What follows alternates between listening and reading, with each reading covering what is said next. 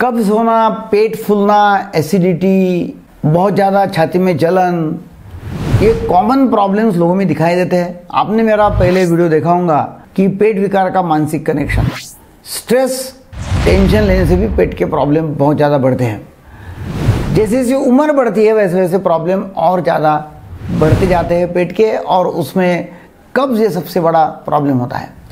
क्या होता है कि 14 परसेंट, चौदह प्रतिशत लोगों को हमारे देश में 14 प्रतिशत लोगों को कब्ज की शिकायत है। और यदि कब्ज होता है ना तो फिर क्या होता है? चिड़चिड़ापन, पेट फूलना अच्छा नहीं लगना, कभी मछलाहट आती है, फिर स्किन रैशेस होते हैं कभी एक्नी होंगी एनर्जी लेवल कम रहती है। कुछ तो भी लगता है कि मिसिंग है, फिर अपचन होता है गैस बढ़ जाती है, पेट में दर्द, ऐसे काफ़ी सारे प्रॉब्लम्स कब्ज होने से होते हैं। तो पेट तो रोज़ साफ़ होना ज़रूरी है, और पेट साफ़ नहीं हुआ तो बहुत ही प्रॉब्लम हर एक को लगता है। मतलब कुछ भी मिसिंग है ऐसा लगता है, कुछ भी गड़बड़ी है ऐसा लगता है, और फिर वो सारा दिन खराब हो चले जाता है। तो फिर हमने ऐसे कौन से पाँच फल खाना चाहिए कि जिसकी वजह से आपका जो पेट का प्रॉब्लम है कब्ज जो है, वो ठीक हो जाएगा।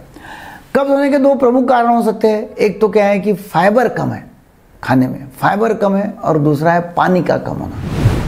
पानी तो पानी बहुत ज़्यादा मात्रा में लोगों ने, सब लोगों ने पीना चाहिए। कम से कम ढाई से तीन लीटर पानी तो पीना ही चाहिए।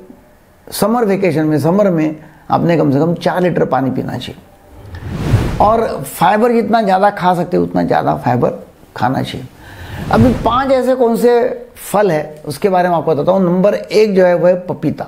इसमें पेपिन नाम का इंजाइम रहता है। फाइबर इसमें बहुत ज़्यादा होता है। कच्चा पपीते की सब्ज़ी भी आप खा सकते हैं और कच, और पपीता जो पका हुआ है वो काट के खा सकते हैं और उसमें बहुत अच्छे फाइबर है और पेट एकदम साफ़ हो जाएगा।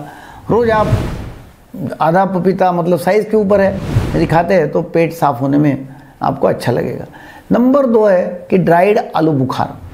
ड्राइड आलू बुखार जो है ये बहुत अच्छा फल है। इसमें विटामिन ए विटामिन सी के मैग्नीशियम आयरन फाइबर सभी रहते हैं। तीन से पाँच आलू बुखार आप रोज़ रात को खाते हैं चबा के खा लेते हैं तो आपको बहुत ज़्यादा अच्छा रहेगा। इसमें एक उसका जूस भी मिलता है, प्रून जूस बोलते हैं उसको, प्रून जूस। तो ये जूस यदि आप लेते हैं हंड्रेड एम एल, सौ एम एल, रोज़ रात को सोने के पहले, तभी भी आपका पेट साफ़ हो जाएगा।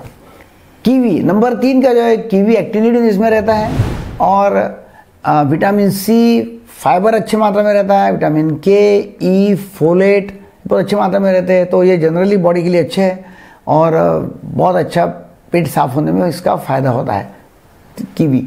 नंबर चार जो है वह है अंजीर। अंजीर का सेक्सुअल हेल्थ में बहुत अच्छा फ़ायदा है, जिसके बारे में मैंने अलग वीडियो बनाया है। रोज़ रात को आप अंजीर, हमारे यहाँ ड्राइड अंजीर ही मिलते हैं। दो से चार आप पानी में या दूध में भिगा कर रखते हैं और सुबह उठने के बाद में आप अंजीर चुभा कर मतलब चू करके खाते हैं और वो पानी या दूध पी लेते हैं। तो आपका पेट साफ़ होने में बहुत मदद हो जाएगी। नंबर पाँच जो है, वो है पियर नाशपाती। और ये पियर जो है, इसमें vitamin C copper, vitamin K fibre, minerals बहुत अच्छी मात्रा में रहते हैं। और यदि आप एक या दो पियर खाते हैं रोज़ रात को तो सुबह आपका पेट साफ़ होने में बहुत फ़ायदेमंद होगा। तो ये सभी पाँच फ्रूट्स जो मैंने बताए, नंबर एक पपीता, नंबर दो ड्राइड आलू बुखार, नंबर तीन कीवी, नंबर चार अंजीर, नंबर पाँच पियर। तो ये खाते हैं तो डेफिनेटली आपका पेट साफ़ होने में मदद हो जाएगा। और ये नेचुरल है, इसकी आदत लगती नहीं है, इसमें कोई साइड इफ़ेक्ट्स नहीं है। और यदि पेट अच्छा रहा तो दिन अच्छा है। आपको वीडियो अच्छा लगा तो जो लोगों को शेयर करो चैनल को सब्सक्राइब करो लाइक करो। आप आपका ख्याल रखिएगा, आपके परिवार का ख्याल रखो, क्योंकि आप बहुत बहुमूल्य हो। Thank you very much